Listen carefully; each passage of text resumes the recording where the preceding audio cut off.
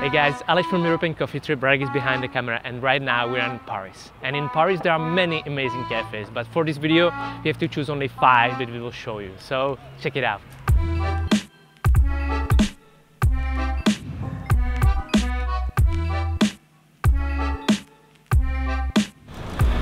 First cafe is La Fontaine de Belleville. It's the first specialty cafe from the Belleville Roastery and what they wanted to do is actually create a specialty coffee experience in a traditional French cafe. So that's what we're gonna see now. The early morning was probably the best time to see this cafe in a relaxed and chilled atmosphere. We were among the first guests this morning. We ordered a cappuccino, filter coffee of the day and a little breakfast. So we are ready for breakfast. Soft-boiled eggs, bread and butter.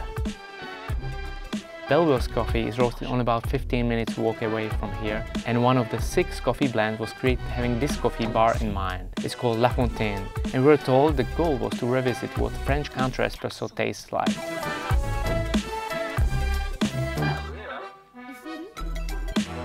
So we are leaving La Fontaine de Belleville and this place is so crowded during the weekend so we were really really happy that we came on Wednesday and we could enjoy this cafe for ourselves, enjoy breakfast and coffee.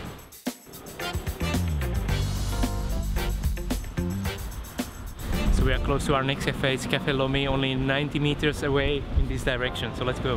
We had to walk to 18th district to find a coffee shop that belongs to Lomi, one of the most recognized French specialty coffee roasters. They feature many coffees on the menu, so after having cappuccino and lunch, we tasted delicious Colombian espresso and Rwandan filter coffee. So uh, we are now sitting with our friend Mikael, who we met actually in Luxembourg uh, about four years ago, but now he works at uh, Lomi. We are kind of the at the end of the world here in Paris. Like uh, we are at the 18th, like uh, super far from uh, the, the, city center, and uh, people are coming, like uh, tourists.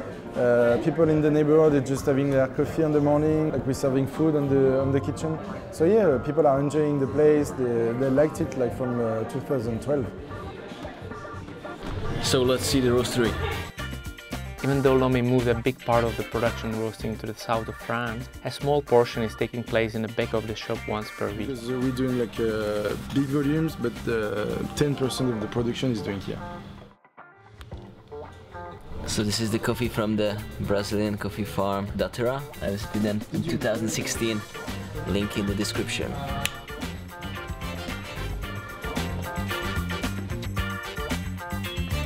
So we are leaving Lomi with uh, some bags of coffee to taste at home and we also met our friend Mikael and uh, it was really lovely visit so we continue. Only about 15 minutes walk from Lomi is Sacré-Cœur with a fantastic view over Paris. Now we move to 11th district close to Place de la Bastille to see one of the newest and most recommended coffee shops in Paris. Okay, we are in front of Back in Black and we are going to show you what's inside, so follow us.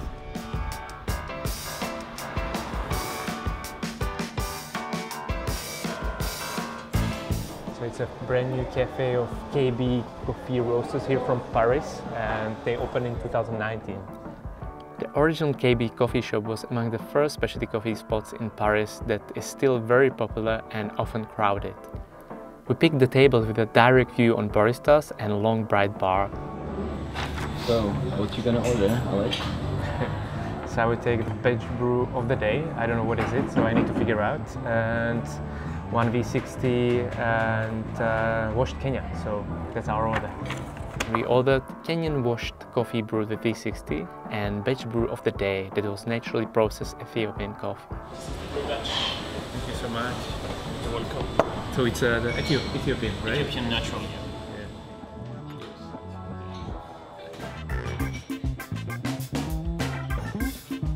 Uh, it's roasting space. There's a roasting machine and Remy is actually uh, very often behind the machine and roasting all the coffees here. What was your favorite actually? What was your favorite coffee? Uh, actually, this one. It's um, Evelio, Costa Rica Rick. Tastes cinnamon, uh, plume, and chocolate, and it's my favorite now. A good thing about this place actually that customers can actually come and see roasting, right? That's a really nice way to actually introduce customers like to, to what's behind the scene. Besides brewing, roasting and selling coffee, Back in Black has also a full kitchen ready to serve dishes all day long. We couldn't say no to that either. Your turn. Bon appetit. This is my cheese cheese toasty. And you have a beef bun. Before leaving Back in Black, we had a short chat about coffee culture in Paris with the owner Nicolas. Now we are leaving Back in Black and uh, we go to the, our next cafe. So we are really close because the telescope is over there. So let's come closer. So our next cafe is Telescope and it's one of the first specialty cafe in Paris and it's also representative of really small cafe for few people where you need to be really close to the barista and enjoy the whole space. So let's check it out. The face of Telescope is Nicolas Clerc, its owner and barista, who we will find behind the bar most of the time.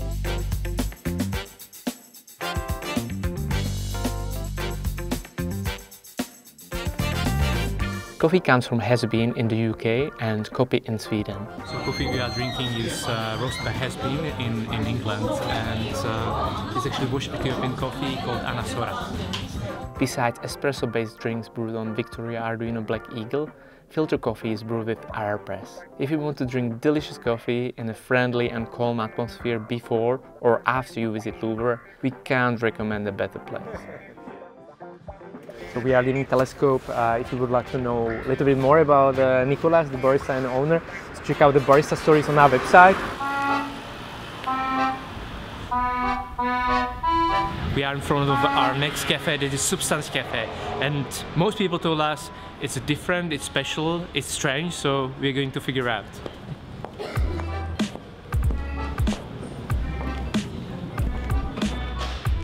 Substance Cafe was opened by Joachim and his wife Alexandrine in July 2009. He designed Substance Cafe as a tasting room with only 14 seats and one barista running the show. Joachim is an experienced barista and competitor who wanted to present coffee in a totally different way. Okay. Normally we have this first menu. This first menu is just a few things with a double shot, macchiato, cappuccino flat white filter and omakase. Omakase is I choose for you. Besides the first menu, you can choose special coffees that are often competition level coffees frozen to preserve its freshness for a longer time and brewed using top-notch machines and techniques. Okay, so here is the fridge, minus 21 degrees Celsius, and the reason for that is because there are very special coffees inside, and uh, they are pre-dosed, vacuum packed, and freeze to minus 21. So then, when uh, you order some of the special parts of the menu, you have a fresh coffee, delicious, just for you, brewed by Joachim on a bar. So that's why this fridge. but it's the first time. It's the first time we see it as a part of the interior of the cafe. Usually there is a fridge behind the counter. Here it's part of the part of the interior and on a purpose because there are really special coffees inside. So Joachim just brewed us a very special coffee. It's a Colombian geisha from Granja La Esperanza. And it's a natural process geisha, right? Very long fermentation. Very long fermentation, so we're gonna taste it now. I think I can imagine drinking it every day. It's not as... so we just learned a new Japanese word. It's omakase, and it's actually omakase experience we just uh, had in here in Substance Cafe and it's probably the best experience you can have. Actually just ask how much time you have how much money maybe you have as well and uh, let barista to create an incredible experience for you. So that's our recommendation. Good luck with everything. Good luck. With the channel perfect. Thank you so much so we are leaving Substance Cafe. It was definitely one of the best coffee experiences we had so far and we hope that you enjoy it. So our short coffee tour in Paris is over. We wish we could show you many more cafes, but we didn't have enough time. But if you do, if you have more time, so check our website and find a city guide to Paris where you can find many more places to go. And if you want to see more videos like that, so subscribe our channel and I will see you in the next video. Bye bye.